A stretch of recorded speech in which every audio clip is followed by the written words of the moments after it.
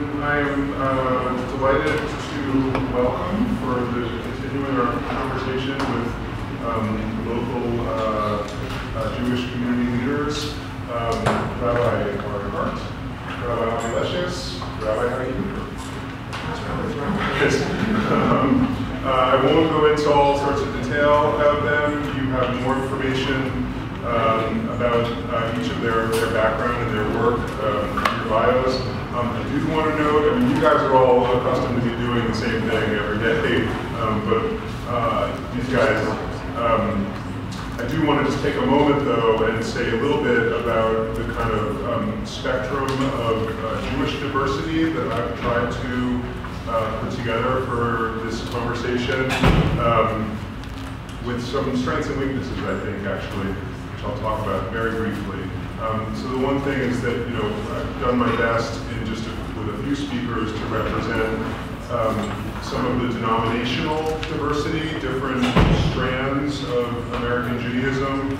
Um, so Heidi is a rabbi at a Reform synagogue in Brooklyn. Avi uh, is not a congregational rabbi, but is from the Chabad Lubavitch um, Hasidic community uh, that's in Crown, centered in Crown Heights, but also all around the world, and probably Chabad houses in many of the places where you guys uh, work and teach. Um, and uh, Ari is, um, if you're crazy about this term, it's modern Orthodox. It's, I don't, don't, I don't love modern as a, but anyway, what is usually known as modern Orthodox uh, um, uh, community in Riverdale in the Bronx. Um, so, you know, Reform, Orthodox, Hasidic. Um, this evening we'll be attending services at a conservative synagogue, one of the other major um, strands in American Jewish life. I also was hoping there's a fourth panelist who was going to join us, but unfortunately had a family emergency. I got a text at like six in the morning today um, from the Satmar Hasidic community in uh, Williamsburg in Brooklyn, and I was actually very excited to have two Hasidic panelists from dramatically different Hasidic communities and to get at some of the internal diversity of Hasidic life, which to outsiders is so often just kind of seen as this monolith of, you know, uh, whatever. But unfortunately, um, Rabbi uh, A. Friedman was not able to join us. Um, but still, some of the denominational diversity in Jewish life. Also, um, they're all rabbis, but again, as I've noted, they're all not all working as congregational rabbis. Um, uh, Heidi is, um, Ari is, but is also at the same time the founder of a co-founder of an Orthodox uh, social justice nonprofit organization. So works as a congregational rabbi and other forms of community building. Um, Avi's not a congregational congregational. Uh, works at the Better Business Bureau uh, Small business. Excuse me, works with them and is sort of a community organizer in many ways in Crown Heights and more broadly in New York. Um, the one thing that I want to flag that I think is maybe um, uh, the one, and it's important to, to, you know, you do your best in a panel discussion like this to put together like a meaningful range of diversity with just a few people. And there's always strengths and weaknesses. There's some things you can cover quite well and some things that you can't. Um, and I think I should note, I think one of the kind of flaws in the wonderful cast of characters we'll chat with right now is that we have a, a, a, female religious leader, obviously, from the Reform movement, and then male rabbis from Orthodox communities. Um, and I think that that runs the risk of um, giving the really dangerous impression that there are no um, powerful forms of female religious leadership in Orthodox and Hasidic life, which there, there absolutely are. So I know Ari, for example, um, works at an Orthodox synagogue where he works alongside uh, an ordained uh, rabbah, uh, as we talked about really briefly in our last panels. And this is a new form of um, women's ordination within Orthodox Judaism somewhat controversial, and maybe talk a little bit about that. Um, Avi, uh, they don't ordain women in Lubavitch, last I checked. Um, but still, uh, there, I know from personal experience, having spent quite a bit of time doing research in Crown Heights in my own academic work, there are some extremely powerful women um, that are part of the absolute core of community life and um, the, the, the fabric of how that faith community works uh, without being ordained, but in terms of playing all kinds of other roles in religious leadership. So I don't want you to get the impression that there are. We also still allow male rabbis. That's No, from like Reform synagogues in, in uh, Brooklyn right now. There's, yes, that's the other flip side. There is, believe it or not, male religious leadership uh, in the Reform and Reconstructionist uh, movements as well. So the gender imbalance here risks a kind of false impression that I wanted to correct in advance. Um, but other than that, I think we have a great kind of spectrum of different perspectives in Jewish life in New York. Um, I will invite these guys to talk for 10, 12 minutes or so, and then we'll have as much time as possible for a broader conversation afterwards. I have no preference. You say, just for us, just what you've covered so far, just. Oh, sure, no, that's important, right, we have, we have just come off of, this is our sort of, um, these folks have been working together for the past two weeks, um, looking at a range of different faith traditions, and also looking at sort of broader, you know, theoretical and pedagogic questions about how to teach religion in K-12 settings. Um, uh, but this is our one day really devoted to looking at um, Judaism and New York Jewish communities. Um, we had a, an introductory seminar just a moment ago with Hasia Diner from NYU, who did her best uh, with the impossible job of like a kind of thumbnail sketch of 4,000 years of um, uh, Jewish peoplehood and, uh, and, and, Judaism as a religious tradition. And then also I should say, you know, can you do a quick show of hands? How many of you um, have taught on uh, Judaism or Jewish life, like in your own teaching in a world religions course or whatever other setting? So about half, you know, have addressed these issues in their own teaching. So it's not like a, a um, I don't think we will need to start from kind of square one of like, here's what Judaism is. We address that as best we can in a short period. And what I hope you guys can do is kind of you know, situate more specifically like the Judaism, the particular Judaism of your own community, you know, and your own personal background if you want to go there as well. Makes sense? Awesome. Um, all right, Heidi, why? Okay. I'll start. All right, awesome. Thank you. Uh, everybody, it's been a great to meet you. Thank you. Um, I think I'm going to tell a bit about my story, which I think touches on some of the themes that are playing out in Jewish life today, and I think also hopefully have some nuggets that you can internalize and use in your own understanding of Judaism. So I'm going to begin with um, of my grandparents. My grandmother was born in Germany, in Leipzig, and um, when she was 12, no, so when she was 8, the Nazis took power, and they fled when she was 12, um, shortly after Kristallnacht. Kristallnacht was the night they night of shattered glass, when um, synagogues were burned all over Germany. Um, so, as you can imagine, that role in my Jewish identity, my family's Jewish identity, that sense of persecution, Holocaust, victim. That's one. She came to America, life was great. Um, so that's one piece of my story. My other grandmother also, uh, her mother fled from pogroms in Eastern Europe. Pogroms were when the local villagers would rise up and uh, kill, steal from the local Jewish community. So my grandmother, my great-grandmother, was the only surviving member of her family from pogrom. They both came to America. She came uh, a little earlier. So that's like my family background, and that's situated in the um, story that we tell about our people as a people who was um, born in oppression. Right, we became a nation.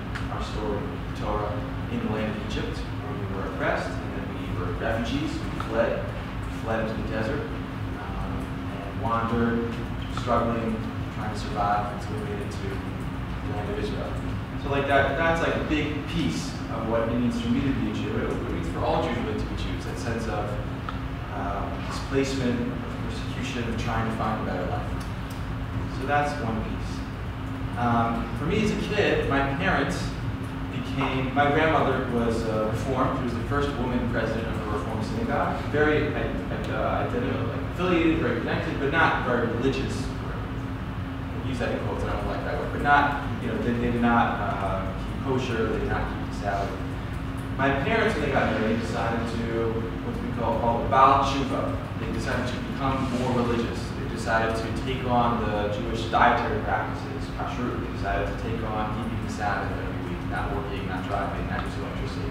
So my parents, their religious affiliation um, grew a lot. And I was actually, there was a whole movement, you know, starting in the late 60s and 70s and 80s, where, uh, especially coming after the heels of the Holocaust, where in the Holocaust and afterwards, to be Jewish, to be visibly Jewish, was very um, scary. It was something that was people had very, very mixed feelings about spiritually, like where was God? Like how can we pray to God? The Holocaust happened. There's a lot of fear. Don't be visibly Jewish because you know horrible things happen. But then with the founding of the state of Israel, uh, with the Six Day War in the late 60s, with identity politics rising up, suddenly there was this desire to reclaim Judaism to take it on and find great meaning, great purpose through Jewish identity, Jewish living. So my parents were part of that. So they became Orthodox. And they raised me as Orthodox. Grew up uh, mostly in Chicago. Went to a Jewish day school, so not a public school, but to a private school where I uh, learned Torah, Jewish studies for half the day, and learned secular studies for the other half of the day. Long day, very, uh, very intense.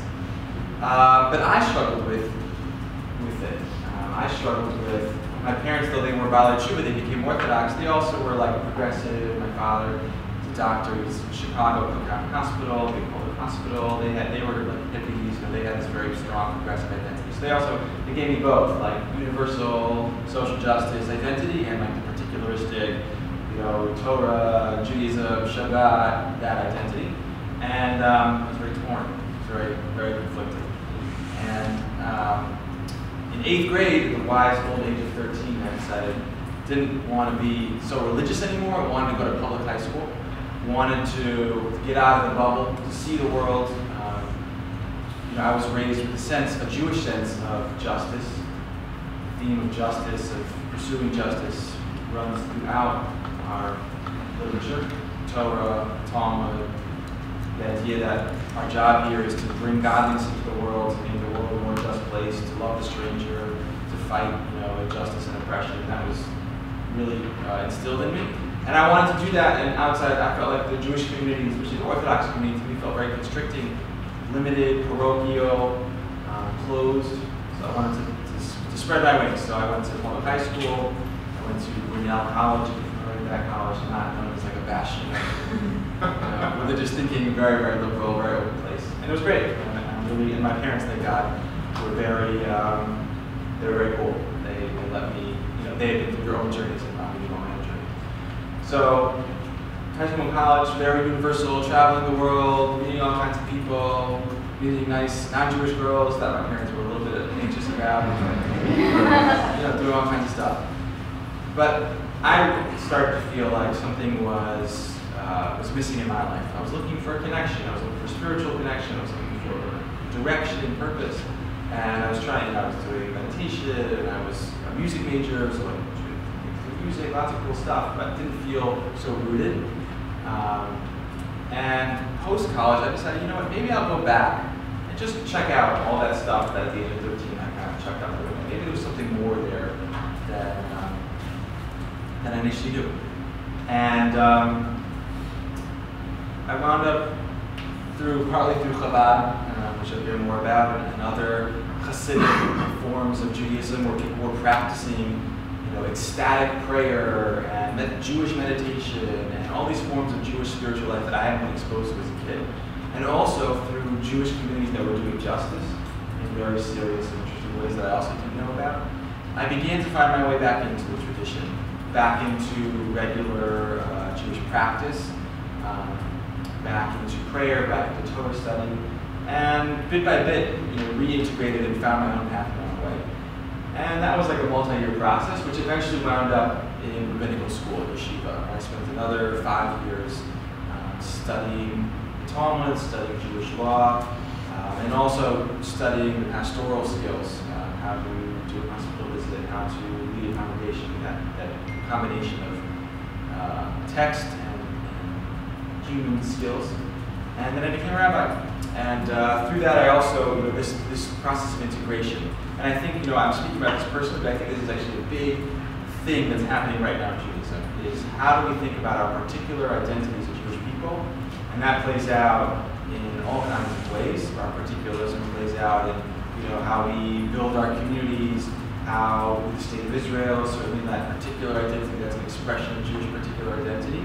And at the same time, that's, that's one big piece of Jewish life and thought. And there's also this universal um, push within our prophetic tradition, within our history, within our um, within the Torah to make the world a better place, to be a part of humanity, to give back, and to lead.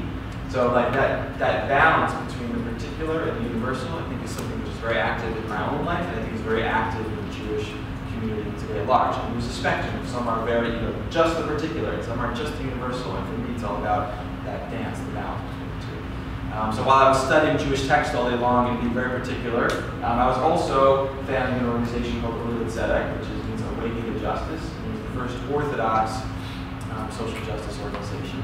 And what we try to do is we try to say, look, we have this mandate, we have these amazing spiritual ideas in our tradition. Let's try to actually make them real in the world. Um, and we have unique sets of responsibility and power that we can impact. So, for example, one of the things that we that we do is something called a Tav HaYosher. So, you guys are familiar with such a thing as kosher food, right? There are kosher restaurants.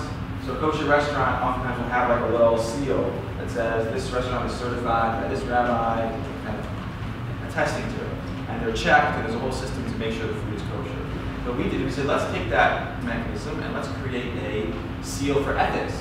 Because the truth is, there's a lot of problems in the food industry of uh, worker abuse and exploitation. And uh, New York City, there's rampant wage theft and overtime abuse. So there's a lot of problems in the food industry. It's a very, it's a massive industry, and it's, it's very, uh, very loosely regulated. and There's very little oversight. So we said, let's create a seal that says that workers at kosher restaurants are being treated fairly. They're getting paid at least a minimum wage. They're getting paid overtime. They're not being harassed and abused. Like very minimal standards, which unfortunately in New York City are not are not uh, often met by many many thousands of restaurants. So we created that. That was an example of saying, let's take our Jewish values, let's take our particular, you know, uh, responsibilities, our you know, kosher industry. These are businesses that we uh, frequent and that we you know, support, and let's find a way to take our universal messages and values and make them real actualize them within our particular circumstance that then goes out and changes the world. Um, so that's like an example of, of, one way that I try to do that balance.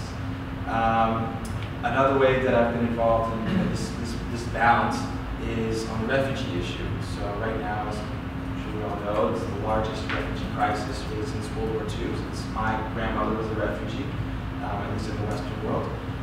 And um, you know that plays very heavily. It should play very heavily, I think, on all of our consciousnesses. But for me, as a Jewish person, you know, thinking about my grandmother who fled Germany with you know uh, a trunk, thinking about my great grandmother who fled in the middle of the night, her family was uh, was being killed. Um, personally, those stories really resonate.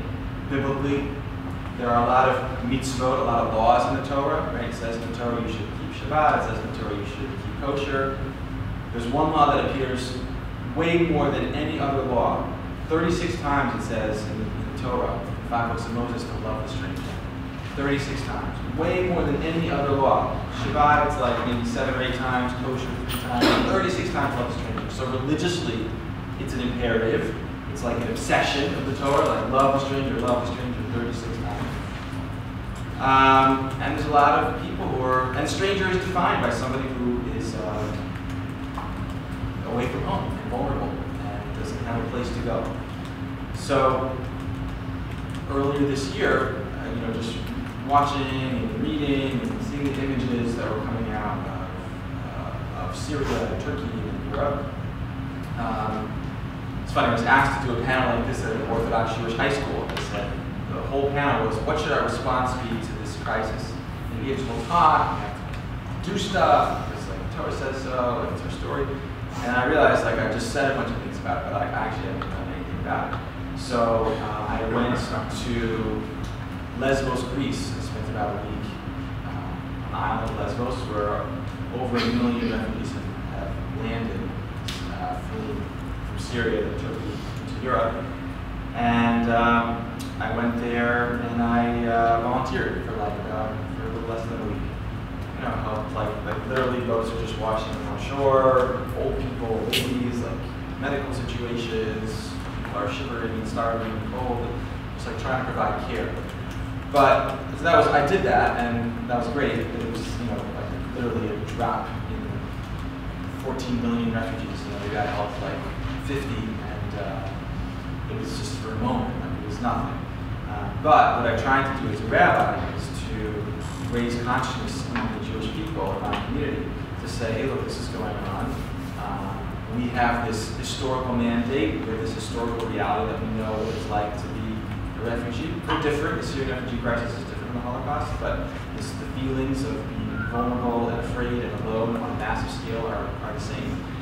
And um, we have this spiritual mandate to do something, and we have to be doing stuff. So we raise money, we uh, provide uh, doctors who are going to be on the beach for, um, for about a year uh, through an organization called IsraAID, and um, trying to exert influence on the political reality in America, where um, the issue of refugees and immigrants through our, our politics are a little bit different, but just speaking personally, you know, we've accepted about 3,000 Syrian refugees. There are as many as 14 million is what I've heard. Um, so, you know, take, think about our responsibility as Americans and using our, our voice as Jews to express both our particular experience and identities as Jews who have been through this, who have the spiritual mandate, but also our universalistic uh, impulse and, and, our universalistic demand that we uh, love the stranger, that we try to do our part to make the world a better place. So maybe I'll end there, but I think to sum up the, the, the tension between the, the, particular identity and the universalistic identity is something that American Jews especially really uh, wrestle with and grapple with, and it's something that's really animated a lot of my in, internal Jewish life and also my, my rabbinate. And um, I'll stop there. Thank you, Art. To be continued. So, good morning, my name is Avi Leshes, and as Henry said, I in Crown Heights, Brooklyn, still live there. Um, Crown Heights is a very interesting place. Um, for those of you who don't know it too much, it's been basically the center for the Chabad Chabad movement for the last 60-something years since they've been in America. The form of Chabad philosophy is based on the Hasidic philosophy, which dates back over to the 1600s. It started in Eastern Russia by a guy named Rabbi Israel Shem Tov he was called Israel Shem Tov because he had they called him the good name because he would basically travel around to different villages and this is the same thing time of oppression, time of you know Jews were kind of like far flung villages. They didn't have a sense of identity. You know, they, they were being their voices weren't being heard. They didn't have ways of supporting their families. So they just you know they were not doing very well spiritually. So he would go around the village and kind of like uplift them. And from there it starts a whole movement of basically a very different approach to Judaism to life that was kind of different than what was done until then. So, to give you an example, to that point you guys brought talked earlier before about like rabbis and spiritual leaders and congregations. So they were focusing more on like the Jew who was a scholar, who studied, worked, who did his work, who spent his time and focus sitting in the study hall learning, pounding over his text of Jewish law, while somebody else was supporting them and they had you know other people in the community wealthier merchants, and they would support the, the problem was not everybody was scholarly, not everybody was could conform to that type of setting. And so what happened is you had a lot of, I would say, non-scholarly Jews who went out in the field, went to work, and actually did mundane labor. So what happened to all of those individuals who were not sitting and studying? How they fall into the, into the chart? And the, the idea was that they would not, they were considered the ignorant ones. The scholar ones were the people who flocked and who were, you know, these big respectable people, while the villagers were kind of like you're the mundane, you're the simple people. So he said that's not the focus of Judaism. The focus is that every single person is equal. That just like the farmer in the field who's milking the cow is as important as the person who's standing in the study hall. And he kind of treated them all equally. And by doing that, it created a massive shift and even a rift within the Jewish life in that point in time, saying, okay, well, where is this coming from? How is this? And what his focus was, he would, he would visit the simple villagers. It wasn't about you have to know this track of Talmud, you have to know this Jewish law. Simple things. Love thy neighbor as thyself, love God. You know, the very simple, basic kind of Judaism you teach them. And you can, you can still do the ignorant, you don't, you don't have to study anything, but as long as you have the principles of the faith ingrained in you, you're okay. And that kind of changed me to shift because it's like, where is this all coming from? And people even kind of identified him as false messiah, saying, like, you're kind of changing what millennials being the focus of Judaism. And that kind of set off what became the Hasidic philosophy since then. And it split into many different courts. Like, for example, I think we were saying this Satmar and Chabad were very different. Courts is the term within the Yeah, courts, different right. Pacific communities. Like, so the way it works when they say a court, it means that it's a rebbe. It's a grand, grand rebbe. He leads the flock. He leads the congregation. So like the Saudi community, they came from the same place we came from, Eastern Europe, uh, Russia primarily. And when they settled in this country, their philosophy was we lived in ghettos, we were isolated, we were cut off from society, we will still maintain that type of philosophy and that type of approach here in America. So if you go into Williamsburg, you will see that almost every single person, pretty much the, the lifestyle, the dress is across the board, it's equally the same.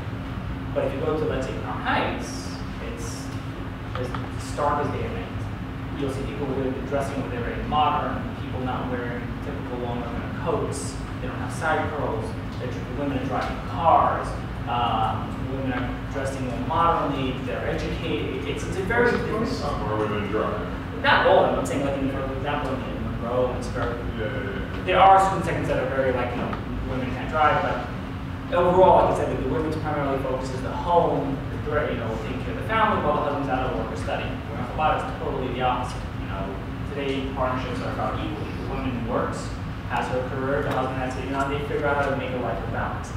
An example is like, you know, probably if you wouldn't be here, you would see a very clear distinction between himself and myself. You know, he would have the side curls, pretty much a vest, and somebody would like his vest, these silk vests, and his, they very much also speak Yiddish. When perhaps we don't speak Yiddish, we understand Yiddish, we study Yiddish, but we do not speak Yiddish at home. It's primarily English. So when, when the Hasidic philosophy grew and expanded in, in Europe, the difference really was between the different courts, between the different Hasidic communities, was your approach to life. You know, so many of them basically said, okay, we're going to live in our little villages, we're going to live in our little settlements and kind of keep the focus internally. And then what happened was when the Chabad movement came from Europe to the United States, the first approach was America's assimilated, America's foreign, and did not, you know, there's opportunity. They called it at that time the golden Medina, which was the, the golden opportunity for anybody who's coming here. So you had all the Jews who flocked there from Europe to the United States. What happened to the Jewish identity? Well, the simple answer was a lot of it was getting lost. You had assimilation, you had all of that kind of like Judaism was kind of losing its focus. So the Chabad came in and said, okay, well, we have to strengthen that, we have to fix that. The way you do that is they send emissaries far flung across the world. The first emissary that actually went out was in 1950, and he went to Morocco. The simple answer was the Jewish community reached out, said, hey, we don't have a rabbi, can you send someone? And Rabbi Schneerson at the time appointed a couple, Yeah, Rabbi Schneerson being, Rabbi M. Rabbi Nachum Schneerson. So, so just to give a little background. sorry. No problem. Sorry to like remind you of it. I keep forgetting about that. Um, so Chabad dynasty. Like, it's a definitely a Chabad view of the world where like you imagine that everyone knows Schneerson is. Yeah, true. Um, so the Chabad dynasty has basically been seven generations straight. It's been father, son, father, son, pretty much all the way down. Of the dynasty of the Rebbe's, who are the sort of central leader of the entire right. community. and all of them have the name Schneerson. So that's where the name comes from. So the only time it wasn't father son father son was in 1950. Rabbi Isaac Schneerson, who was the sixth Grand Rebbe of Chabad, came to America as, as, as a refugee fleeing Europe, settled in Brooklyn and Crown Heights, and he only had daughters. One of his daughters was uh, a son, and her husband, his son-in-law, was killed in Europe. The other son-in-law was Rabbi Gourary, who was in charge of the school system that they established there, and the other one was Rabbi Menachem Schneerson. He's famous to be known today because his leadership. So he took over the mantle of leadership in 1950, and his approach was very different than anything we had seen before. The simple approach was he was a very modern person. So if you look at the pictures of the grand rabbis from Chabad, they wore these fur hats, they wore you know, European look. He wore you know, a very 1950 hat, he wore a short jacket, suit. He had studied in Sorbonne in, in Paris. He had worked in an Navy Yard as an engineer. So he was a very different type of leader than you had expected from somebody coming from Eastern Europe. Um, and his focus was, was basically accepting and taking in American traditions and American values and incorporating that into the movement. So when the call came out for the leader for a rabbi to go to Morocco, he sent a young couple, newly married, had very little experience running a community. And he said, then your post is in Morocco, and you will stay there until I basically call you back. And they stayed there, actually, the Rabbi Rabbi Lipsker passed away in 2001, 2002, and he was there for his entire life. He had traveled back, obviously, for different occasions, but he and his kids, anybody, they all grew up in Morocco. So his idea was, okay, we're in America, and Jewish identity is being lost, we need to do something about it. And what his idea was sending rabbis out, young families out to establish a Chabad center or a community where, uh, what I already said, it was to focus on love and stranger. Now, the Chabad center was not focused on only the Jew, it was focused on anyone. It became, you know, they are on campuses, they were leading, you know, helping who just need some help or some guidance, or any counseling, whatever it is. They're located in communities that don't have even a Jewish presence, simply because there may be one or two Jews, somebody may end up being there, they may need some type of guidance. Um, and personally, growing up that sentiment, you know, everybody I know, family members I know, they've all gone out to become emissaries. My family's a little bit different, but my background's a little bit different. My father's Israeli, came to the U.S. in the 1960s. My mother's from Chicago, um, traditional American Jew. They all moved to New York because that's the and family that they were coming, know, lived here at the time. So they were non-Chabad. And like he said, always said that the 60s and 70s was that Jewish identity kind of movement of, you know, how do we about what's called about true movement, where people getting more of what's traditional, more orthodox. And they met in Brooklyn, they settled in Brooklyn, and they became Chabad. So growing up in the Chabad system, automatically you would be okay, I'm an emissary, a rabbi, whatever it is, right?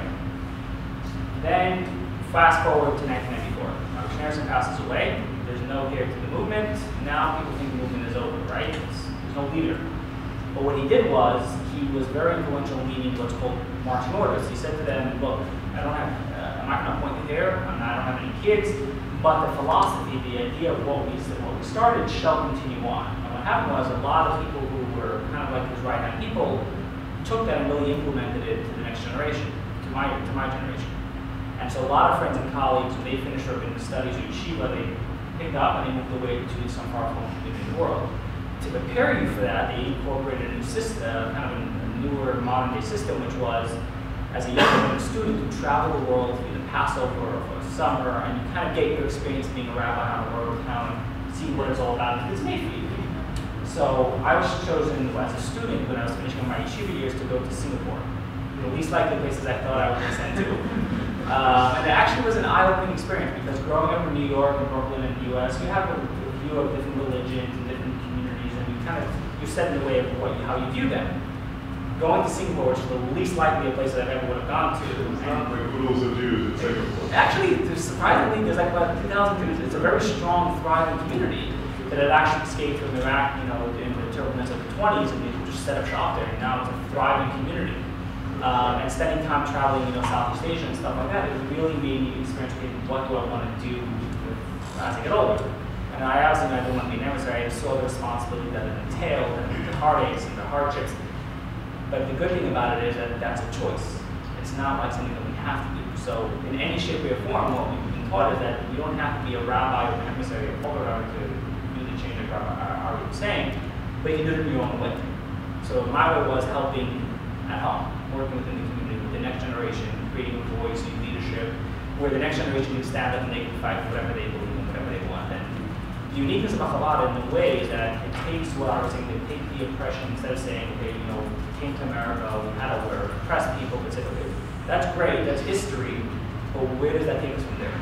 And the focus was being like, life is great, life is good, everything should be done with the word with simcha, happiness. You know, Chabad was one of the first to start the public menorah lightings that you see around. They used satellite to promote. Like it was really about creating a Jewish identity, but focusing not so much on the tradition of saying you have to practice this law or that law, but more about you're a Jew. That's all that counts. So that's pretty much my story.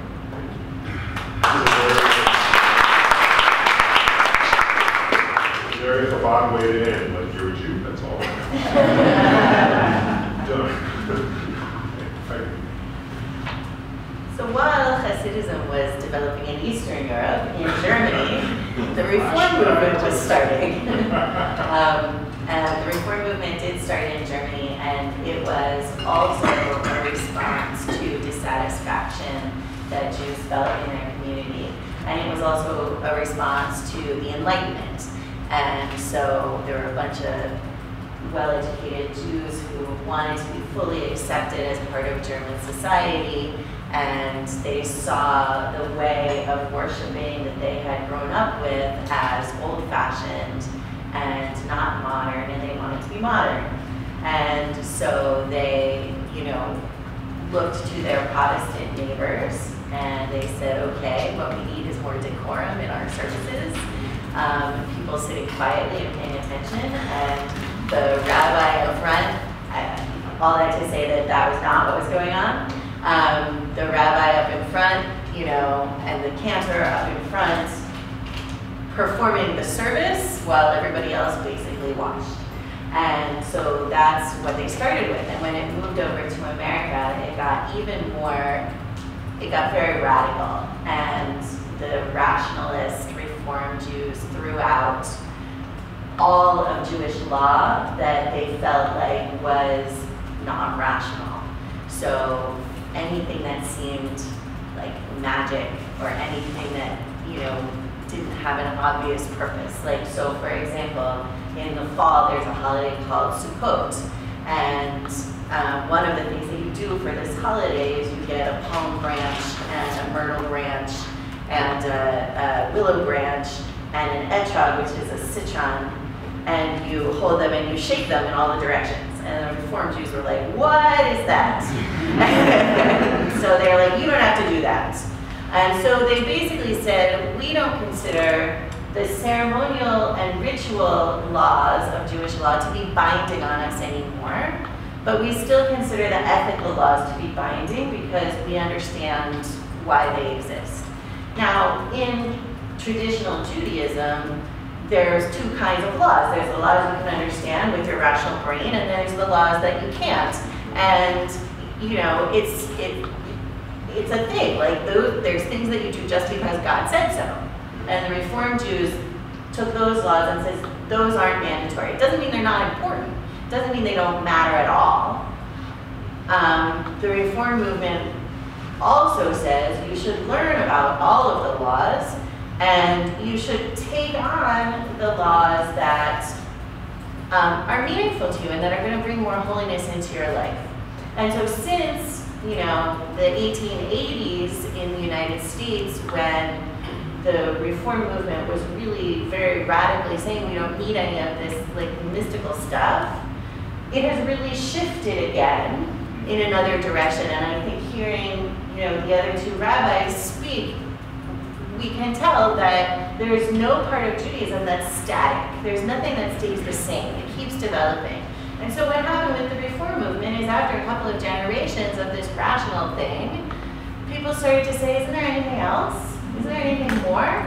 And Hasidism started to have an influence, and um, actually a, a Lubavitch a rabbi um,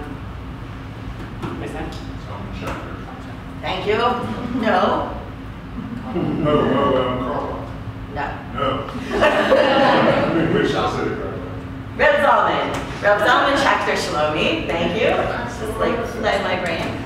You said Solomon Schechter. Solomon Schachter. Oh, Solomon Schechter. I thought you said Solomon Schechter, which is somebody else entirely. Um, so Zalman Schachter Shalomi actually came out of Lubavitch and began you know, saying we need to bring the joy of Hasidic practice into all of Judaism.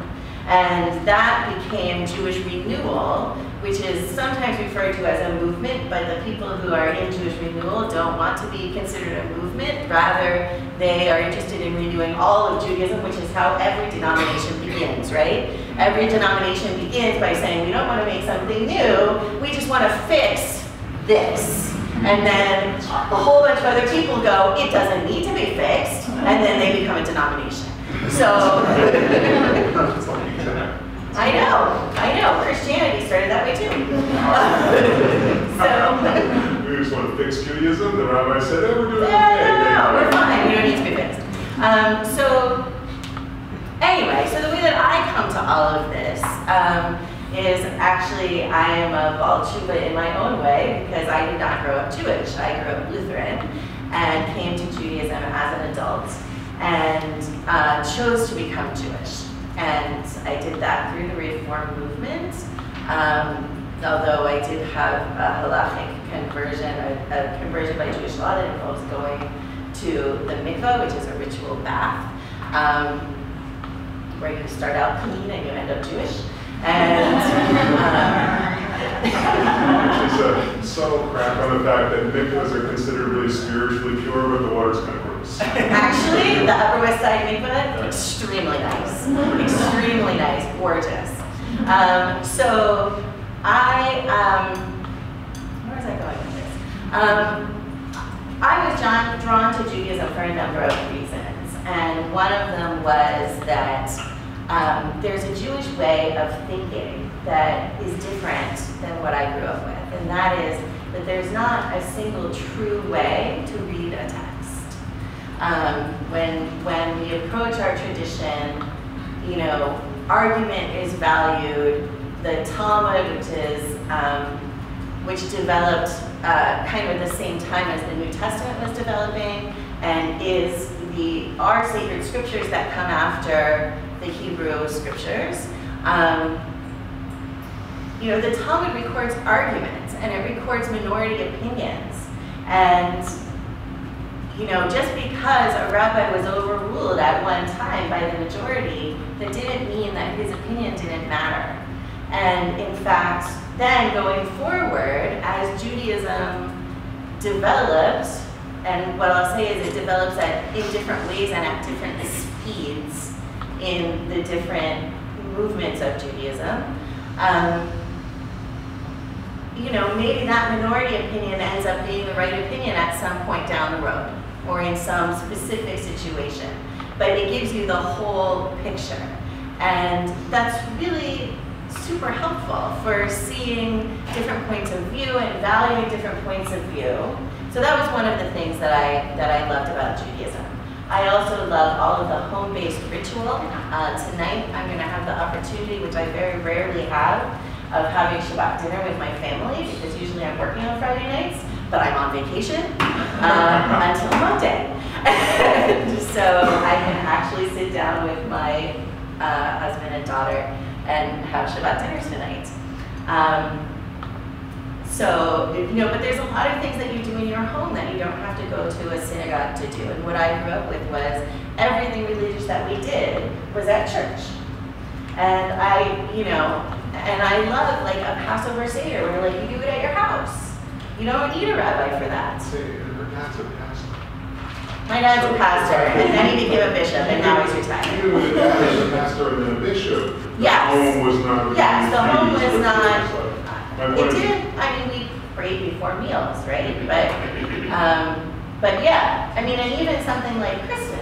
You have a Christmas tree, and I very much believe that a Christmas tree is a Christian symbol, um, but it's not religious. That's not, you know, people try to put religious on it, and it represents the cross, but come on, it's a um, so, you know, but even that, even even Christmas rituals in the home were the were the not religious, not spiritual part of Christmas, right? Um, so, and like Christmas, spiritual Christmas took place at church. So anyway, um, I really liked that. I love I love Judaism as something to give to children. I think it is wonderful for children, and I'll refer to Passover again. So the whole point of Passover is to tell the story, tell the story of the Exodus from Egypt, and to teach it to your children. I mean, although you still have to tell the story even if your children aren't there. Um, but it's based around food. Like, eat this. That represents the bitterness of slavery. Eat this, you know. Um, it all like how great is that? How smart is that? Like it's awesome. And so um, I I probably should stop talking. okay. Um, okay. So what else important do I want to say? Um, I want to say that for Reform Jews also, the tension exists between the particular and the universal. It plays out in a different way. Um, it plays out with, at least with my congregation, um, my congregation wants to be like totally open. Totally, totally open. Anybody can come, like, we, and actually, we have probably half of the congregations in our, half of the families in our congregation are interfaith families where one of the adults is Jewish and one of the adults is not Jewish. Um, and in fact, we have one family, and this is one of my favorite stories, where there's a dad and a stepmom and two kids. The dad is not Jewish, the stepmom is not Jewish, the mom of the kids is Jewish, and in the divorce agreement, the mom said, if the children are to be raised with a religion, that religion is to be Jewish. However, she did not much care about raising the kids with a religion which is a strange thing sometimes about Jews, that, you know, they're not that interested in Judaism, but no other religion is acceptable. Um, it's, anyway, so the stepmom of these two kids is a devout Catholic. And she said, you know, so she is like now helping to raise these children, and she said, I cannot imagine a life without faith. I can't imagine where you get your moral compass. I can't imagine, because this is her frame of reference. And she said, well, you know, these kids have to have faith, they have to have a religion, and if that religion has to be Jewish, then by gum, it will be. And so she has like learned about Judaism, and she is the driving force in raising these kids Jewish. Wow, I mean, that's amazing. That's a very unusual case. Um, but about half of, half of our families are interfaith families, and they handle that in different ways. Most of them are raising their kids exclusively Jewish, which is what I encourage. I encourage parents to choose one religion for their children and raise them in that religion. And, you know, the other, they can learn about the other religion, but they should know what they are. And, um, you know, so my congregation wants to be super duper open. We I'm, I'm uh, delighted to welcome for the continuing our conversation with um, local uh, uh, Jewish community leaders, um, Rabbi Ari Hart, Rabbi Avi Leshes, Rabbi Hakim. um, uh, I won't go into all sorts of detail about them. You have more information um, about uh, each of their, their background and their work um, bios. Um, I do want to note, I mean, you guys are all accustomed to be doing the same thing every day, um, but uh, these guys, um, I do want to just take a moment though and say a little bit about the kind of um, spectrum of uh, Jewish diversity that I've tried to uh, put together for this conversation um, with some strengths and weaknesses, I think, actually, which I'll talk about very briefly. Um, so the one thing is that, you know, I've done my best in just a, with a few speakers to represent um, some of the denominational diversity, different strands of American Judaism. Um, so Heidi is a rabbi at a Reform synagogue in Brooklyn. Avi uh, is not a congregational rabbi, but is from the Chabad Lubavitch um, Hasidic community uh, that's in Crown, centered in Crown Heights, but also all around the world, and probably Chabad houses in many of the places where you guys uh, work and teach. Um, and uh, Ari is, um, if you're crazy about this term, it's modern Orthodox. It's, I don't, always, I always love modern as a, but anyway, what is usually known as modern Orthodox uh, um, uh, community in Riverdale in the Bronx. Um, so, you know, Reform, Orthodox, Hasidic. Um, this evening we'll be attending services at a conservative synagogue, one of the other major um, strands in American Jewish life. I also was hoping, there's a fourth panelist who was going to join us, but unfortunately had a family emergency.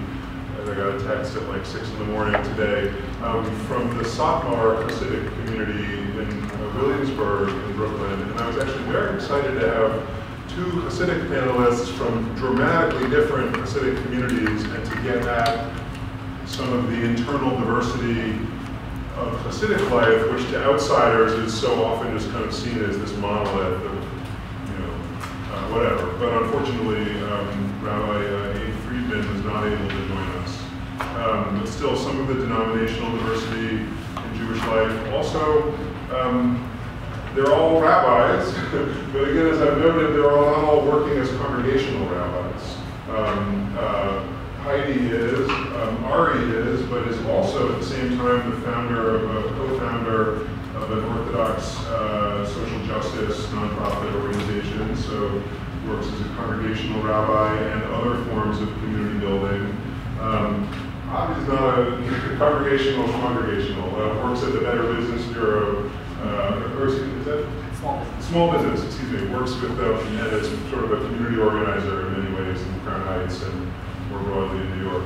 Um, the one thing that I want to flag that I think is maybe um, uh, the one, and it's important to, to you know, you do your best in a panel discussion like this to put together like a meaningful range of diversity with just a few people. And there's always strengths and weaknesses. There's some things you can cover quite well and some things that you can't.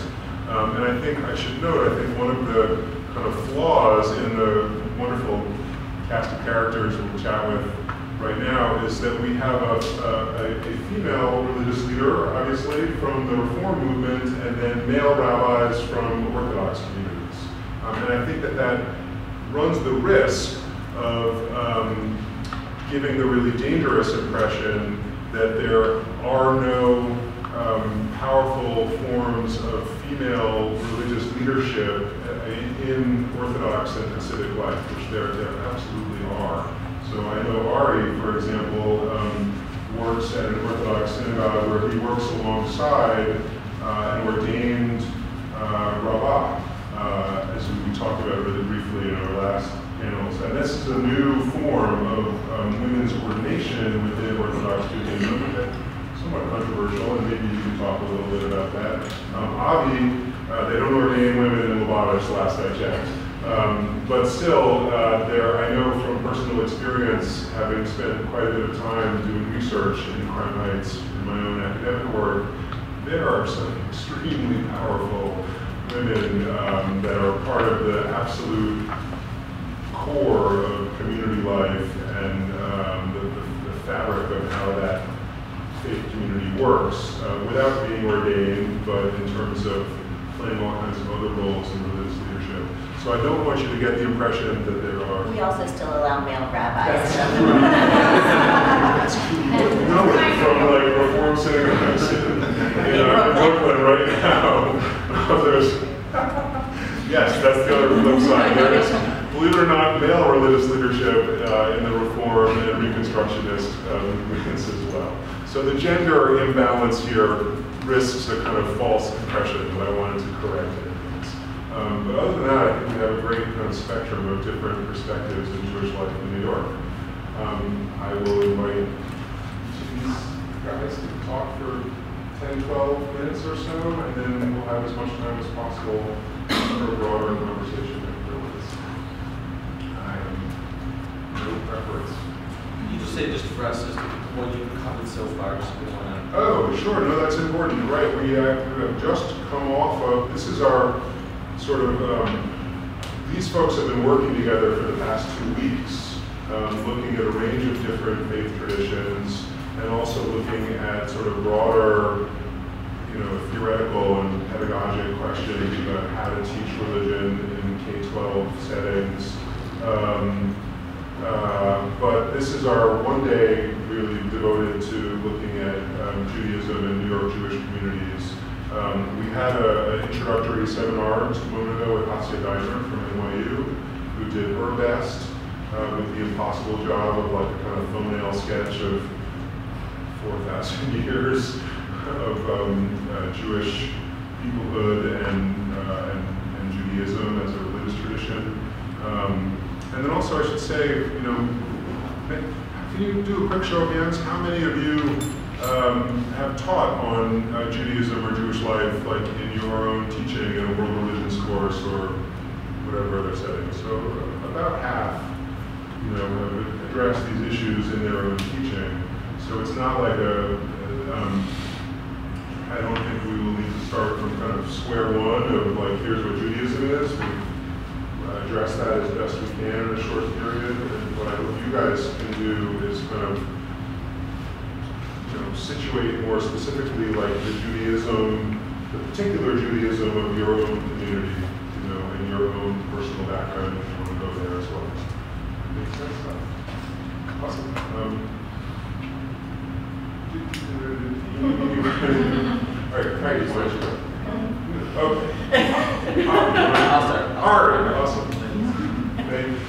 Hey everybody, it's been a great time here. Thank you.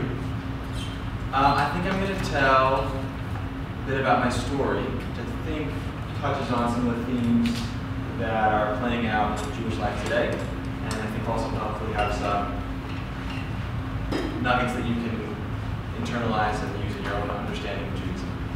So I'm going to begin with um, story of my grandparents.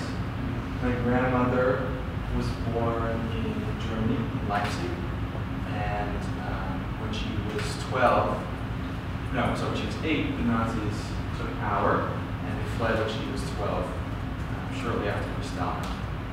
Kristallnacht was the night when the night of shattered glass, when um, synagogues were burned all over Germany. So, as you can imagine, that plays a big role in my Jewish identity, my family's Jewish identity, that sense of persecution, Holocaust, victim. That's why She came to America, life was great. Um, so that's one piece of my story. My other grandmother also, uh, her mother fled from pogroms in Eastern Europe. Pogroms were when the local villagers would rise up and uh, kill, from local Jewish community. So my grandmother, my great-grandmother, was the only surviving member of her family from the pogrom. They both came to America. She came uh, a little earlier. So that's like my family background, and that's situated in the um, story that we tell about our people as a people who was um, born in oppression, right? We became a nation, our story, Torah, in the land of Egypt, where we were oppressed, and then we were refugees, we fled, fled into the desert, um, and wandered, struggling, trying to survive until we made it to the land of Israel. So like that, that's like a big piece of what it means for me to be a Jew. It, means for all Jews to be Jews, that sense of um, displacement, of persecution, of trying to find a better life. So that's one piece. Um, for me as a kid, my parents became, my grandmother was uh, Reformed. She was the first woman president of a Reformed synagogue. Very uh, like affiliated, very connected, but not very religious.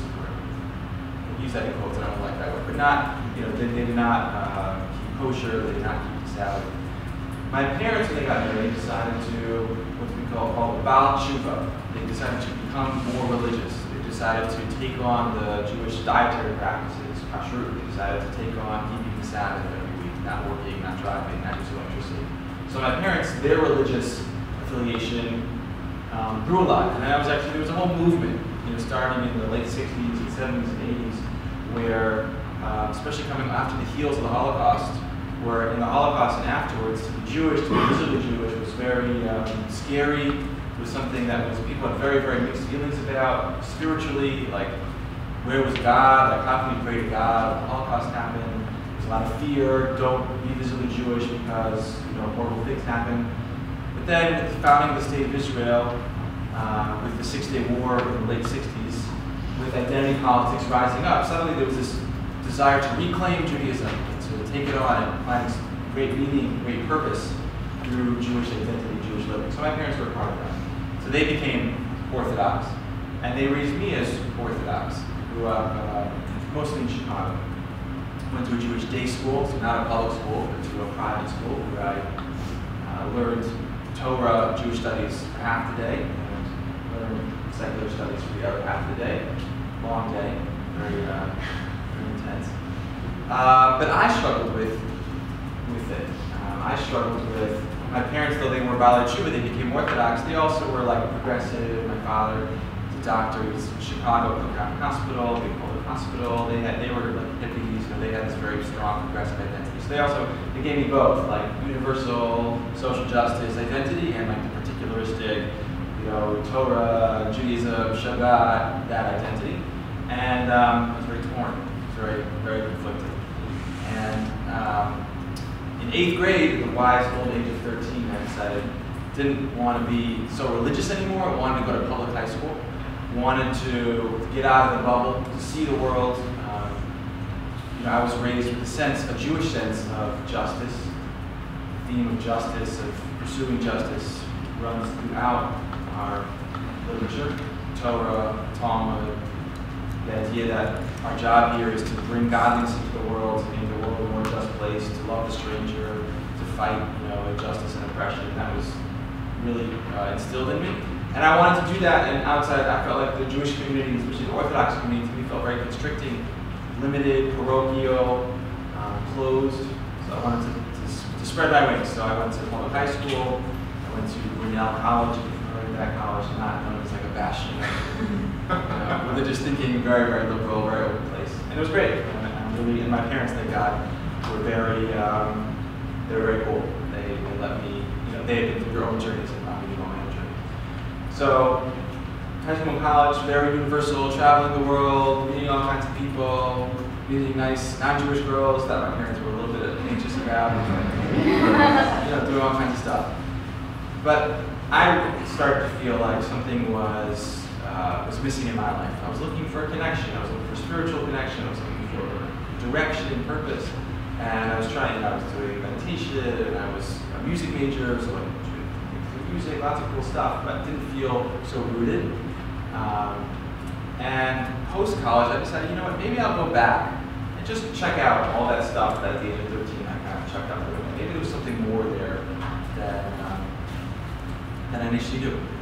And um, I wound up through partly through Chabad, uh, which I'll hear more about, and, and other Hasidic forms of Judaism where people were practicing, know, ecstatic prayer and med- Jewish meditation and all these forms of Jewish spiritual life that I hadn't been exposed to as a kid, and also through Jewish communities that were doing justice in very serious and interesting ways that I also didn't know about. I began to find my way back into the tradition, back into regular uh, Jewish practice. Um, back into prayer, back into Torah study, and bit by bit, you know, reintegrated and found my own path, my own way. And that was like a multi-year process, which eventually wound up in rabbinical school at yeshiva. I spent another five years uh, studying Talmud, studying Jewish law, um, and also studying the pastoral skills, uh, how to do a hospital visit, how to lead a congregation, that, that combination of uh, text and human skills. And then I became a rabbi. And uh, through that, I also, you know, this, this process of integration. And I think, you know, I'm speaking about this personally, but I think this is actually a big thing that's happening right now in Judaism, is how do we think about our particular identities as Jewish people? And that plays out in all kinds of ways. Our particularism plays out in, you know, how we build our communities, how the state of Israel, certainly that particular identity, that's an expression of Jewish particular identity. And at the same time, that's, that's one big piece of Jewish life and thought. And there's also this universal um, push within our prophetic tradition, within our history, within our um, within the Torah to make the world a better place, to be a part of humanity, to give back, and to lead. So like that that balance between the particular and the universal, I think is something which is very active in my own life, and I think is very active in the Jewish community today at large. And there's a spectrum. Some are very, you know, just the particular, and some are just the universal. And for me, it's all about that dance, the balance between the two. Um, so while I was studying Jewish text all day long and being very particular, um, I was also founding an organization called Uri L'Tzedek, which is, means Awakening to Justice. It was the first Orthodox um, social justice organization. And what we try to do is we try to say, look, we have this mandate, we have these amazing spiritual ideas in our tradition. Let's try to actually make them real in the world. Um, and we have unique sets of responsibility and power that we can impact. So for example, one of the things that we, that we do is something called a yosher.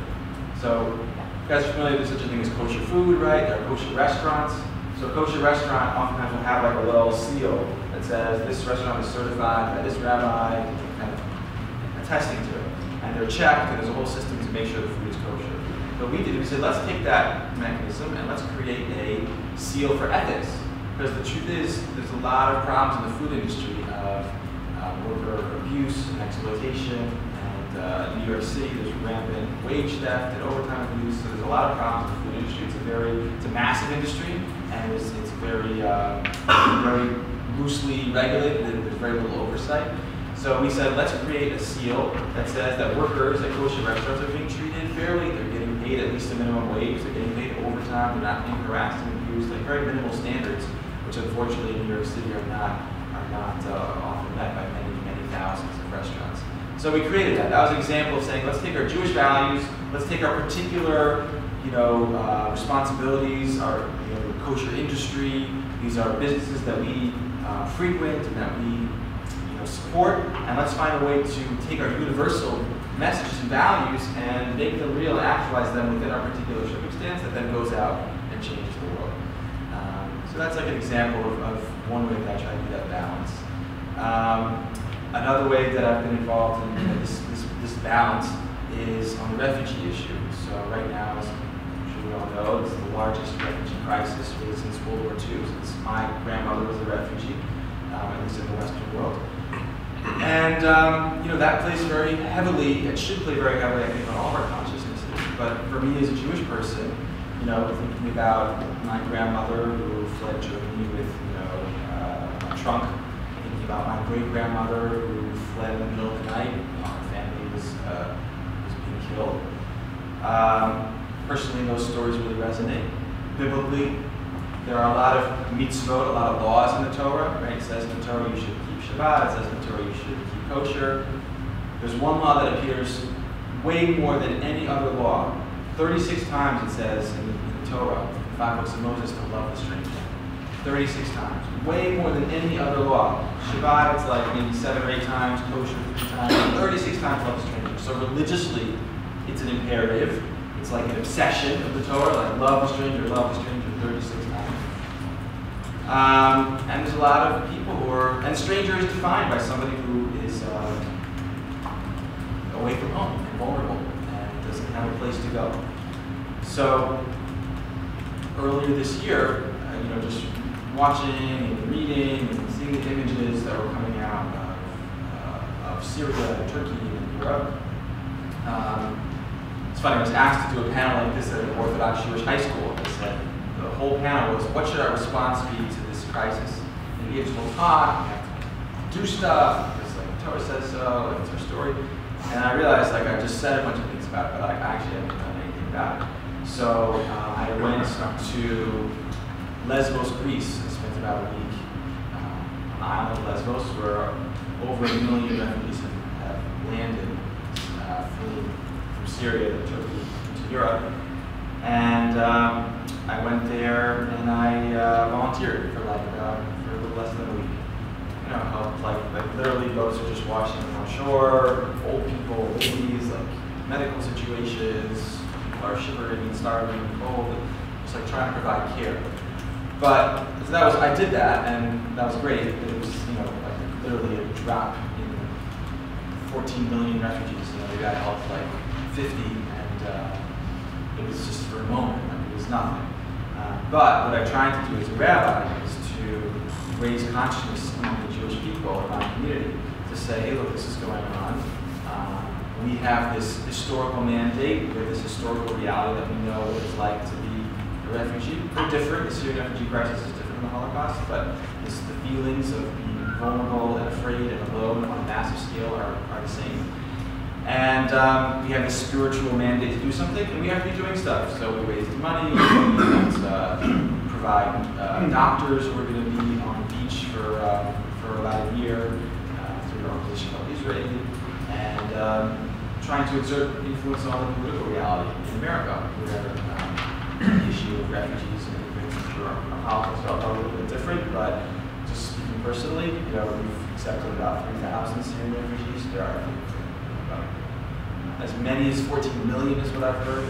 Um, so, you know, take, think about our responsibility as Americans and using our, our voice as Jews to express both our particular experience and identities as Jews who have been through this, who have the spiritual mandate, but also our universalistic uh, impulse and, and our universalistic demand that we uh, love the stranger, that we try to do our part to make the world a better place. So maybe I'll end there, but I think to sum up, the, the, the tension between the, the particular identity and the universalistic identity is something that American Jews especially really uh, wrestle with and grapple with, and it's something that's really animated a lot of my in, internal Jewish life and also my, my rabbinate. And um, I'll stop there. Thank you, Ari. To be continued. So, good morning, my name is Avi Leshes, said, I up in Crown Heights, Brooklyn, still there. Um, Crown Heights is a very interesting place. Um, for those of you who don't know too much, it's been basically the center for the Chabad Chabad movement for the last 60-something years since they've been in America. The form of Chabad philosophy is based on the Hasidic philosophy, which dates back over to the 1600s, which started in Eastern Russia by a guy named Rabbi Israel Shem He was called because he had to call him the good name, because he would basically travel around to different villages, and this is the same thing, time of oppression, time of, you know, Jews were kind of like in different villages, they didn't have a sense of identity, you know, they, they were being, their voices were being heard, they didn't have ways of supporting their families, so they just, you know, they were not doing very well spiritually. So he would go around the village and kind of like uplift them. And from there, it starts a whole movement of basically a very different approach to Judaism life that was kind of different than what was done until then. So, to give you an example, to that point you guys a little before about like rabbis and spiritual leaders and congregations. So they were focusing more on like the Jew who was the scholar who studied, worked, who did work, who spent his time and focus sitting in the study hall learning, pounding over his text of Jewish law, while somebody else was supporting them and they had you know, other people in the community who were wealthy merchants and they would support the, the. The problem was not everybody was scholarly, not everybody was could conform to that type of setting. And so what happened is you had a lot of, I would say, non-scholarly Jews who went out in the field, went to work, and actually did mundane labor. So what happened to all of those individuals who were not sitting and studying? How they fall into the, into the chart? And the, the idea was that they were not, they were considered the ignorant ones. The scholar ones were the people who flocked and who were, you know, these big, respectable people, while the villagers were kind of like you're the mundane, you're the simple people. So he said that's not the focus of Judaism. The focus is that every single person is equal. That just like the farmer in the field who's milking the cow is as important as the person who's standing in the study hall. And he kind of treated them all equally. And by doing that, it created a massive shift and even a rift within the Jewish life in that point in time, saying, okay, well, where is this coming from? How is this? And what his focus was, he would, he would visit the simple villagers. It wasn't about you have to know this track of Talmud, you have to know this Jewish law. Simple things. Love thy neighbor as thyself, love God. You know, the very simple, basic kind of Judaism you teach them. And you can, you can still do the ignorant, you don't, you don't have to study anything, but as long as you have the principles of the faith ingrained in you, you're okay. And that kind of changed the major shift because it's like, where is this all coming from? And people even kind of identified him as false messiah, saying, like, you're kind of changing what has been for millennials been the focus of Judaism. And that kind of set off what became the Hasidic philosophy since then. And it split into many different courts. Like, for example, I think were saying there's Satmar and Chabad were very different. Courts is the term within the Pacific, Pacific for courts, different right. Pacific communities. Like, so the way it works, when you say a court, it means that it's a rebbe. It's a grand, grand rebbe. He leads the flock. He leads the congregation. So like the Saki community, they came from the same place we came from, Eastern Europe, Uh, Russia primarily. And when they settled in this country, their philosophy was we lived in ghettos, we were isolated, we were cut off from society, we will still maintain that type of philosophy and that type of approach here in America. So if you go into Williamsburg, you will see that almost every single person, pretty much the, the lifestyle, the dress is across the board, it's equally the same. But if you go to, let's say, Crown Heights, it's as stark as day and night. You'll see people with dressing with very modern, people not wearing typical long coats, they don't have side curls, They're, women are driving cars. Um, women are dressing more modernly. They're educated. It's, it's a very different. Some are women drive. Not all of them. I'm saying, like, in, for example, in Monroe and Skirt, Yeah, yeah, yeah. there are certain segments that are very like, you know, women can't drive, but overall, like I said, the women's primarily focuses the home, the, dir- you know, taking care of the family while the husband's out of work or studying. Chabad is totally the opposite. You know, today partnerships are about equally. The woman works, has her career, the husband has, to, you know, they figure out how to make a life of balance. An example is like, you know, probably if you would be here, you would see a very clear distinction between himself and myself. You know, he would have the side curls, pretty much a vest and something like his vest, these silk vests, and his, they very much also speak Yiddish. When perhaps we don't speak Yiddish, we understand Yiddish, we study Yiddish, but we do not speak Yiddish at home. Primarily English. So when, when the Hasidic philosophy grew and expanded in, in Europe, the difference really was between the different courts, between the different Hasidic communities, was your approach to life. You know, so many of them basically said, okay, we're going to live in our little villages, we're going to live in our little settlements and kind of keep the focus internally. And then what happened was when the Chabad movement came from Europe to the United States, the first approach was Americans assimilated, America's foreign, America did not, you know, there's opportunity, they called it at that time the golden Medina, which the, the golden opportunity for anybody who's coming here. So you have all the Jews who flocked here from Europe to the United States. What happened to the Jewish identity? Well, the simple answer was a lot of it was getting lost. You had assimilation, you had all of that kind of like Judaism was kind of losing its focus. So the Chabad came in and said, okay, well, we have to strengthen that, we have to fix that. The way you do that is they send emissaries far flung across the world. The first emissary that actually went out was in 1950, and he went to Morocco. The Simple answer was the Jewish community reached out, said, hey, we don't have a rabbi, can you send someone? And Rabbi Schneerson at the time appointed a couple, Rabbi Schneerson being, Rabbi Rabbi Menachem Schneerson. So, so just to kind of give a little background. sorry. No problem. Sorry to like remind you of it. I, keep forgetting about that. Um, so Chabad dynasty. It's a definitely a Chabad view of the world where like you imagine that everyone knows who Rabbi is. yeah, true. Um, so the Chabad dynasty has basically been seven generations straight. It's been father, son, father, son, pretty much all the way down. Of the dynasty of the Rebbe's, who are the sort of central leader of the entire right. community. and all of them have the name Schneerson. So that's where the name comes from. So the only time it wasn't father son father son was in 1950. Rabbi Isaac Schneerson, who was the sixth Grand of Chabad, came to America as, as, as a refugee fleeing Europe, settled in Brooklyn and Crown Heights, and he only had daughters. One of his daughters was uh, a son, and her husband, a son-in-law, was killed in Europe. The other son-in-law was Rabbi Gourary, who was in charge of the school system that they established there, and the other one was Rabbi Menachem Schneerson.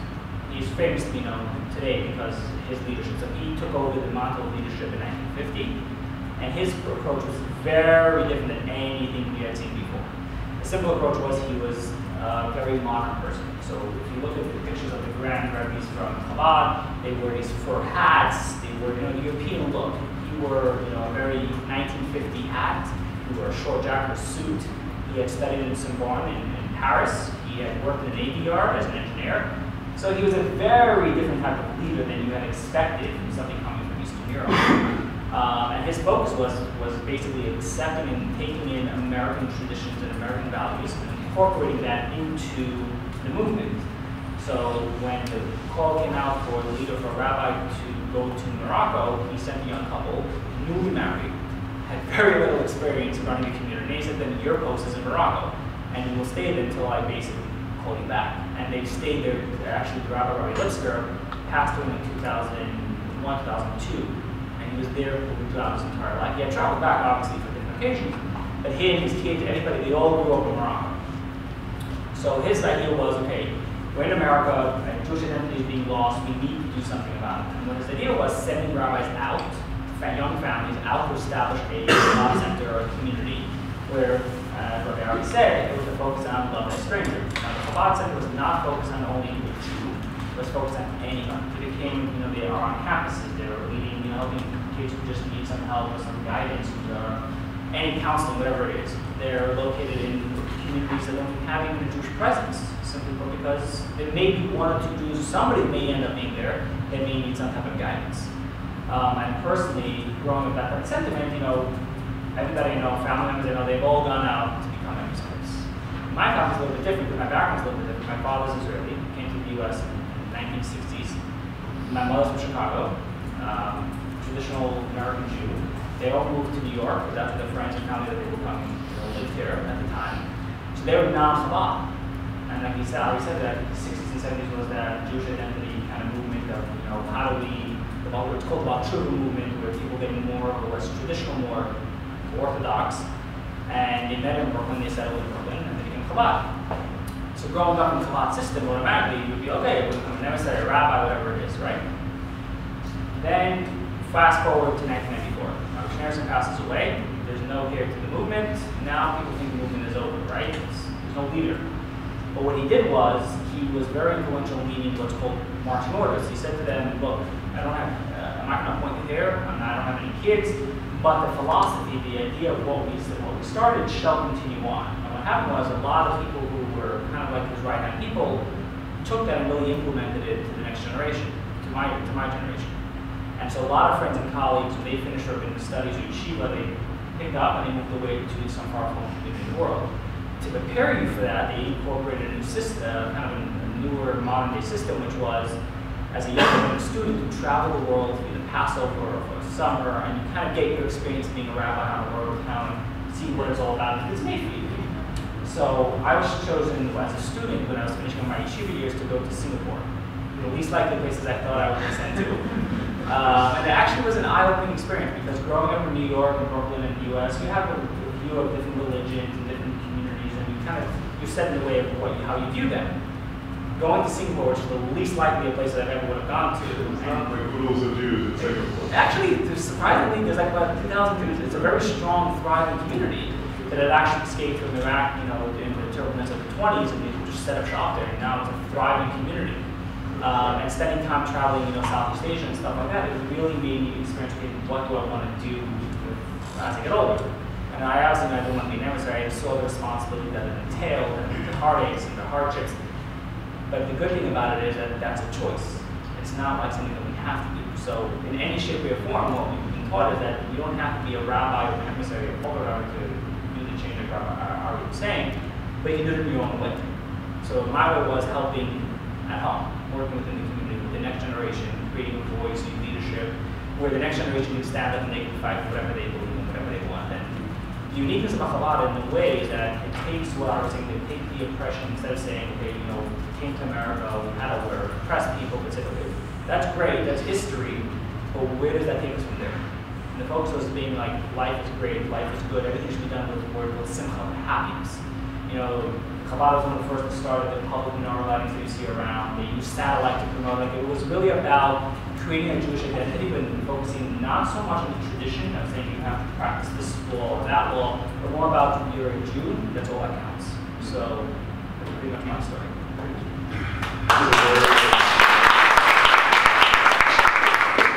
Very Chabad way to end, like you're a Jew, that's all. Done. So while Hasidism was developing in Eastern Europe, in Germany, the Reform movement was starting. um, the Reform movement did start in Germany, and it was also a response to dissatisfaction that Jews felt in their community. And it was also a response to the Enlightenment. And so there were a bunch of well-educated Jews who wanted to be fully accepted as part of German society and they saw the way of worshiping that they had grown up with as old-fashioned and not modern, and they wanted to be modern. And so they, you know, looked to their Protestant neighbors and they said, okay, what we need is more decorum in our services, um, people sitting quietly and paying attention, and the rabbi up front, I, all that to say that that was not what was going on. Um, the rabbi up in front, you know, and the cantor up in front performing the service while everybody else basically watched.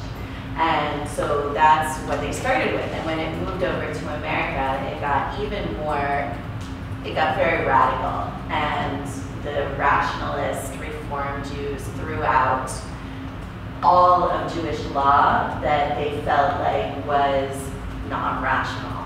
So anything that seemed like magic or anything that, you know, didn't have an obvious purpose. Like, so for example, in the fall, there's a holiday called Sukkot.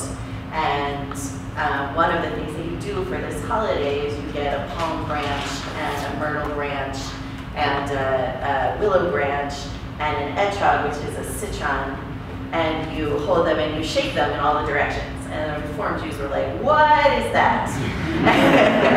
so they're like, you don't have to do that. And so they basically said, we don't consider the ceremonial and ritual laws of Jewish law to be binding on us anymore, but we still consider the ethical laws to be binding because we understand why they exist. Now, in traditional Judaism, there's two kinds of laws. There's the laws you can understand with your rational brain, and there's the laws that you can't. And you know, it's it, it's a thing. Like those, there's things that you do just because God said so. And the Reformed Jews took those laws and says those aren't mandatory. It doesn't mean they're not important. It doesn't mean they don't matter at all. Um, the Reform movement also says you should learn about all of the laws and you should take on the laws that um, are meaningful to you and that are going to bring more holiness into your life. And so since, you know, the 1880s in the United States when the reform movement was really very radically saying we don't need any of this like mystical stuff, it has really shifted again in another direction. And I think hearing, you know, the other two rabbis speak, we can tell that there is no part of Judaism that's static. There's nothing that stays the same. It keeps developing. And so what happened with the reform movement is after a couple of generations of this rational thing, people started to say, isn't there anything else? Isn't there anything more? And Hasidism started to have an influence and um, actually a, a Lubavitch uh, rabbi, um, thank you, no, Oh, oh, um, Carl. no. No. Which Hasidic rabbi? Reb Zalman, Reb Zalman Schachter Shalomi, thank you. Just like led my brain. You said Solomon Schechter. Zalman Schachter. Oh, Solomon Schechter. I thought you said Solomon Schechter, which is somebody else entirely. Um, so Zalman Schachter Shlo- Shalomi actually came out of Lubavitch and began, you know, saying we need to bring the joy of Hasidic practice into all of Judaism.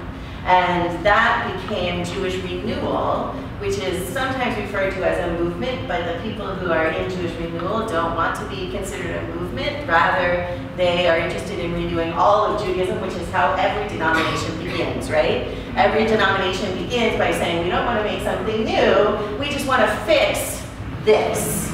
And then a whole bunch of other people go, it doesn't need to be fixed, and then they become a denomination. So, It's like exact. I know, I know, Christianity started that way too.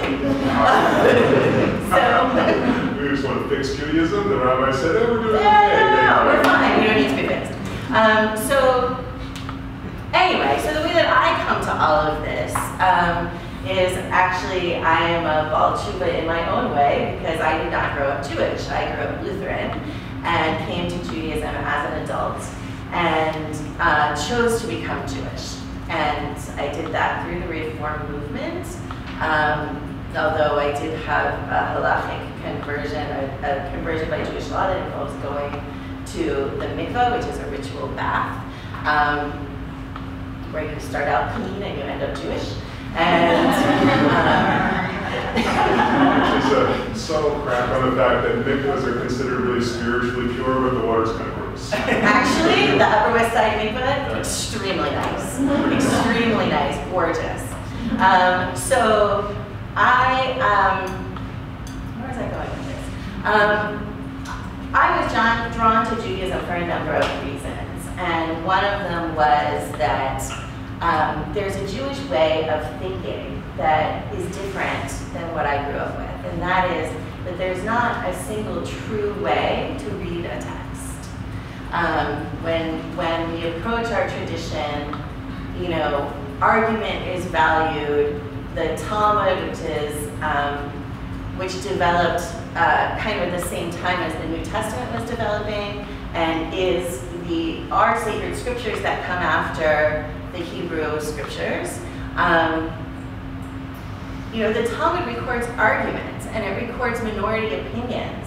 And, you know, just because a rabbi was overruled at one time by the majority, that didn't mean that his opinion didn't matter.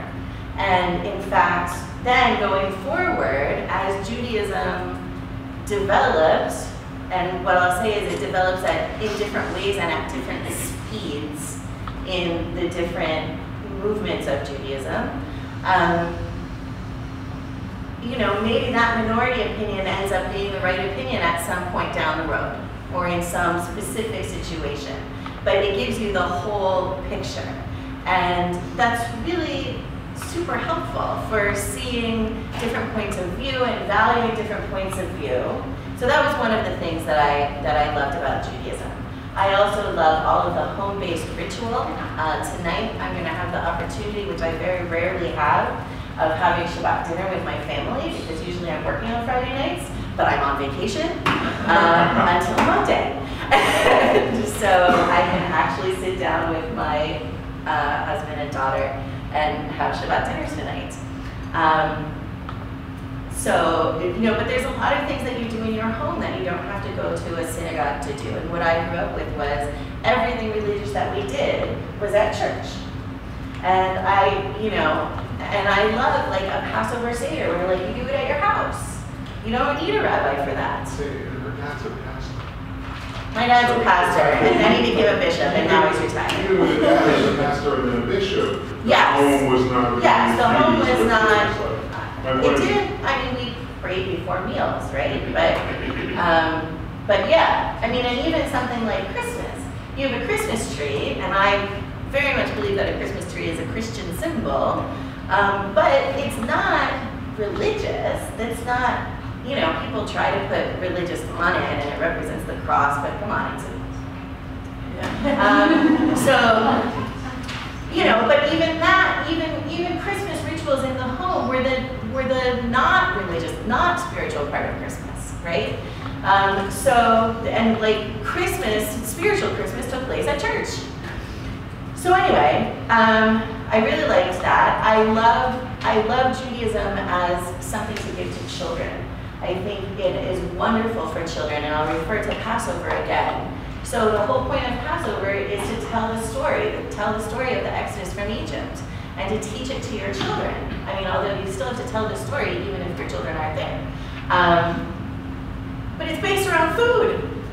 Like, eat this. That represents the bitterness of slavery. Eat this, you know. Um, it all like how great is that? How smart is that? Like it's awesome. And so um, I I probably should stop talking. Um, okay. So what else important do I want to say? Um, I want to say that for Reform Jews also, the tension exists between the particular and the universal. It plays out in a different way. Um, it plays out with, at least with my congregation, um, my congregation wants to be like totally open. Totally, totally open. Anybody can come, like, we, and actually, we have probably half of the congregations in our, half of the families in our congregation are interfaith families where one of the adults is Jewish and one of the adults is not Jewish. Um, and in fact, we have one family, and this is one of my favorite stories, where there's a dad and a stepmom and two kids. The dad is not Jewish, the stepmom is not Jewish, the mom of the kids is Jewish, and in the divorce agreement, the mom said, if the children are to be raised with a religion, that religion is to be Jewish. However, she did not much care about raising the kids with a religion which is a strange thing sometimes about Jews, that, you know, they're not that interested in Judaism, but no other religion is acceptable. Um, it's, anyway, so the stepmom of these two kids is a devout Catholic. And she said, you know, so she is like now helping to raise these children, and she said, I cannot imagine a life without faith. I can't imagine where you get your moral compass. I can't imagine, because this is her frame of reference. And she said, well, you know, these kids have to have faith, they have to have a religion, and if that religion has to be Jewish, then by gum, it will be. And so she has like learned about Judaism, and she is the driving force in raising these kids Jewish. Wow, I mean, that's amazing. That's a very unusual case. Um, but about half of half of our families are interfaith families, and they handle that in different ways. Most of them are raising their kids exclusively Jewish, which is what I encourage. I encourage parents to choose one religion for their children and raise them in that religion. And you know, the other they can learn about the other religion, but they should know what they are. And um, you know, so my congregation wants to be super duper open. We